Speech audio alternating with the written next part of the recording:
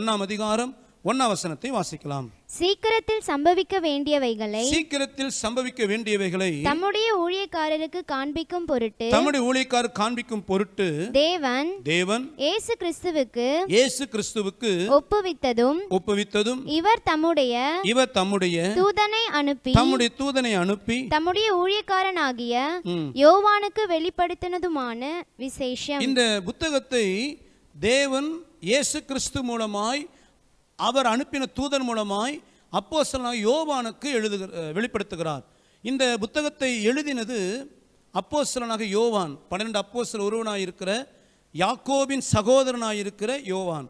இந்த யோவான் பார்த்தீங்கன்னா எபேசு பட்டணத்தில் இருந்த எபேசு சபையின் போதகராக இருந்தவர் முதல் நூற்றாண்டிலே இவர் எபேஸ் சபைக்கு போதகனாக இருந்த அந்த நாட்களில் முதல் நூற்றாண்டில் ரோம சாம்ராஜ்யம் த ரோம் எம்பையர் உலகம் முழுவதும் ஒரு வல்லரசாக இருந்த பொழுது கிறிஸ்தவர்களை பயங்கரமான ஒரு சித்திரவதைக்குள் தள்ளினார்கள். அந்த நாட்களில் தான் இந்த அப்போசன யோவான் எபே சபைக்கு அவர் போதகராயிருந்தார். அந்த நாட்களில் இந்த ரோம அரசர்கள் ரோம் எம்பையர் ஒர்ஷிப் என்கிறதான ஒரு ஆராதனையை வைத்திருந்தால் என்னன்னு சொன்னால் ரோம் எம்பரர் ஒர்ஷிப் ரோம அரசனை ஆராதிக்கிற ஒரு முறை. இந்த எந்த அரசன் அந்த நாட்களிலே ரோமுக்கு அரசனாக இருக்கிறானோ அந்த அரசனை வணங்க வேண்டும். அந்த அரசனுக்கு பலி செலுத்த வேண்டும். அந்த ரோம அரசனை எப்படி எகிப்தினுடைய அரசனாக இருக்கிற பார்வோனை அந்த நாட்களிலே தெய்வத்திற்கு சமமாக வைத்திருந்தார்களோ? எகிப்து ஜனங்களை பார்த்தீங்கன்னா பார்வோனை தெய்வம் என்று வைத்திருந்தார்கள். அதுபோல முதல் நூற்றாண்டில் இருந்த இந்த ரோம சாம்ராஜ்யம் ரோம அரசர்களை தெய்வமாக சித்தரித்தார்கள். அந்த ரோம் எம்பையர் வர்ஷிப் என்கிறதான ரோம அரசனை தொழுது கொள்ளுகிற அந்த வணக்கத்தை ஏற்படுத்தினார்கள். அப்படி ரோம அரசனை வணங்கி அவனுக்கு பலி செலுத்தாதவர்களை சித்திரவதை செய்து கொலை செய்தார்கள். இந்த கிறிஸ்தவர்களை தவிர மற்ற உலக ஜனங்கள் இந்த ரோம அரசனை வணங்கினார்கள்.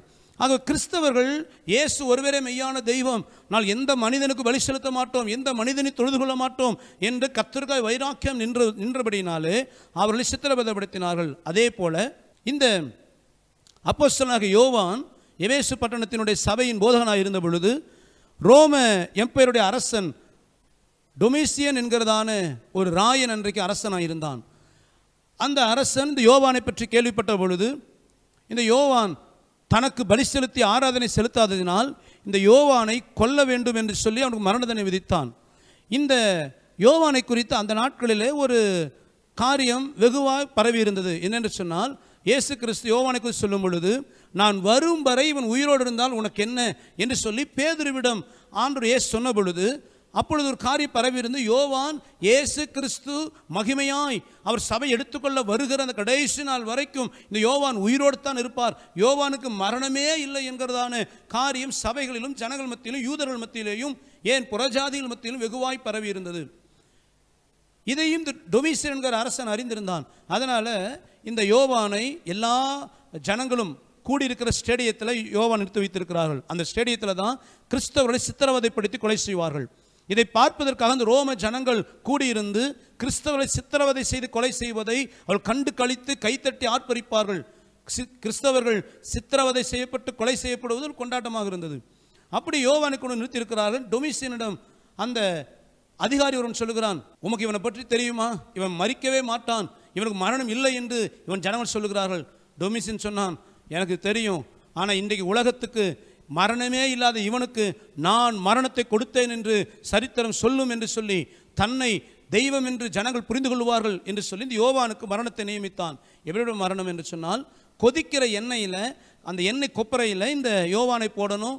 அவன் அப்படியே அவன் வெந்து பொறிஞ்சு அவன் மறிக்க வேண்டும். இதான் கொடுக்கப்பட்ட மரண தண்டனை.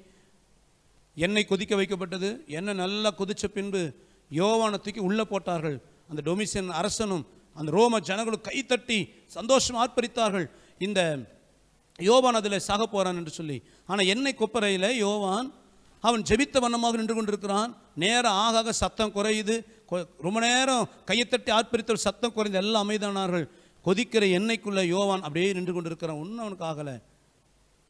ஆக இவனை கொலை செய்ய முடியாது என்பதை டொமிஷன் புரிந்து கொண்டு அவன் அந்த யோவானை தூக்கி பத்மு என்கிற தீவிலே அவன் நாடு கடத்தப்படுகிறான். பத்மு என்கிற தீவு துருக்கி நாட்டிற்கு அருகில் இருக்கிறதான ஒரு தீவு புல் பூண்டுகள் எதுவுமே இல்லாத ஆள் நடமாட்டம் இல்லாத ஒரு தீவு இந்த பத்ம தீவு. அங்கே இவன் நாடு கடத்தி அவன் அங்கேயே அவன் மறித்து போக வேண்டும் என்று சொல்லி நாடு கடத்தப்பட்டான் பத்ம தீவிலே. அந்த பத்ம தீவில் இருக்கும் பொழுது தான் தேவன் இந்த யோவானுக்கு இந்த வெளிப்படுத்தின விசேஷத்தில் எழுதப்பட்டதான திக்கு தரிசன காரியங்களை விளங்க பண்ணினார். இது ஒரு காரியத்தை புரிந்து கொள்ளுங்க. ஏன் கத்தர் ஆள் நடமாட்டம் இல்லாத ஒரு நெருக்கமான இடுக்கமான பத்மத்தீவில் யோவானை கத்தர் கொண்டு வந்தார் என்றால் அவனை தனிமைப்படுத்தினது தன்னுடைய திட்டத்தை யோவான் மூலம் நிறைவேற்றுவதற்காக. எனக்கு அருமையான தேவ ஜனமே இந்த சத்தத்தை கேட்கிற உங்கள் வாழ்க்கையில் நீங்கள் எதிர்பாராமல் சில நெருக்கங்களை கத் வாழ்க்கையில் கத்தர் அனுமதித்திருக்கலாம். சில நேரங்களிலே சில பிரிவுகள் வாழ்க்கையில் உண்டாயிருக்கலாம். சில நேரங்களிலே தேவன் உங்களை தனிமைப்படுத்தி இருக்கலாம் தேவன் உங்களை சில நெருக்கத்தில் சில தனிமையான சூழ்நிலையிலே சில இக்கட்டான பாதையில் கத்தர் உங்களை நடத்தி கொண்டிருக்கிறார் என்றால் ஒன்று புரிந்து கொள்ளுங்கள்.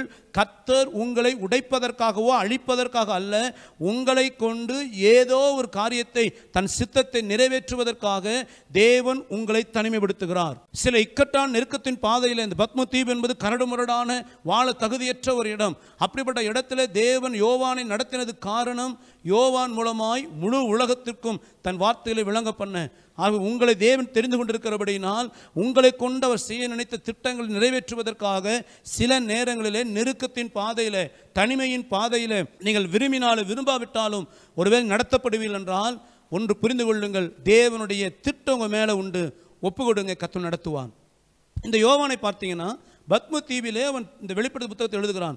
இந்த யோவானை குறித்த சரித்திரம் சொல்கிறது இந்த டொமிசியன் அரசன் மறித்த பின்பதாக திரும்ப வேறு அரசன் வருகிறான். அப்பொழுது இருக்க ரோம அமைச்சரவை இந்த பத்மத்தீவில் இருக்கிற யோவானை விடுதலையாக்குகிறார்கள். ரெண்டு ஆண்டுகள் கழித்து திரும்ப விடுதலையாக்கப்பட்ட இந்த யோவான் திரும்ப அதே எபேசு பட்டணத்துக்கு வருகிறான். அந்த சபையிலேயே போதகனாக இருந்து நூற்றி ஓராவது வயதிலே இயற்கை மரணம் அடைந்தார் என்று இந்த யோவானை குறித்து சரித்திரம் சரித்திரம் சொல்லுகிறது. இதை ஏன் தெளிவாக சொல்லுகிறேன் என்றால் எனக்கு ஒரு பெரிய ஒரு கள்ள உபதேச வதந்தி பரவுது. பிரபலமான டிவி சேனலில் ஒரு ஊழியக்கார் பேசுகிறார் யோவான் இன்னைக்கு உயிரோடு தான் இருக்கிறார் நான் அவரை சந்தித்தேன் அவரை பார்த்தேன் அவரோடு பேசினேன் அவர் என்னோடு உறவு இதெல்லாம் கள்ள உபதேசம். ஆண்டவர் இயேசு நான் வருகிற வரை இவன் உயிரோடு இருப்பான் என்று சொன்னது காரணம். கடைசி காலத்தில் அவர் மத்திய காலத்தில் வருகிற வரை அல்ல. இந்த யோவானை பார்த்தீங்கன்னா இந்த வெளிப்படுத்த விசேஷம் எழுதும் பொழுது ஏசு கிறிஸ்துவ வருகை மாத்திரமல்ல. கடைசி காலங்களில் நடக்கிற அல்லது நீங்கள் நானும் ஆவலாக எதிர்பார்க்கிறேன் இந்த புதிய எரிசலேம் அவை எல்லாவற்றையும் யோவான் அப்பொழுதே கண்டுவிட்டார்.